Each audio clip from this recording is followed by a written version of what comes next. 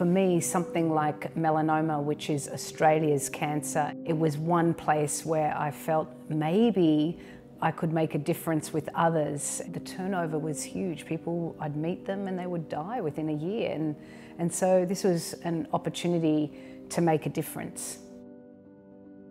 I could see there was an opportunity to really have a big impact. And I think even more than that, a responsibility. We have so many patients. As Georgina said, it's Australia's national cancer. We've got the highest incidence anywhere in the world.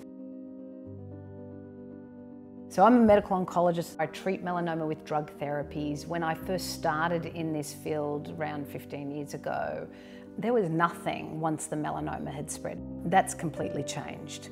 We always knew melanoma in particular had a very weird relationship with one's own immune system. In the early skin melanomas, when you're first diagnosed with one, immune cells were sometimes seen within that melanoma, suggesting that the immune system is mounting its own response against the melanoma. That was a clue. We noticed um, that there were these few cases where patients' melanoma would just disappear. They'd be diagnosed with melanoma that had gone to the lung, biopsy proven, and then three to six months later, it just disappeared on its own. No intervention. Very rare, about one in a thousand, but it happened. And for 40 years, people have been doing research on how to harness that immune system. We have really toxic treatments and occasionally you'd see a response. We actually now have developed drugs that in 50% of the case cure what was a death sentence only 10, 15 years ago. Kefford, who was the oncologist who we worked for, came to our MDT meeting on Friday morning and his face was so different. He was so, he was blown away.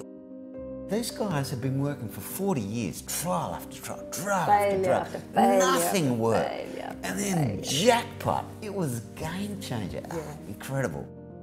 These drugs worked when the melanoma had spread to the brain, and that was a huge difference as well. But again, that's all about coming together, collaborating, putting the patient at the centre of everything we do, having it around our multidisciplinary team, but seeing things so that you can then have an impact quickly.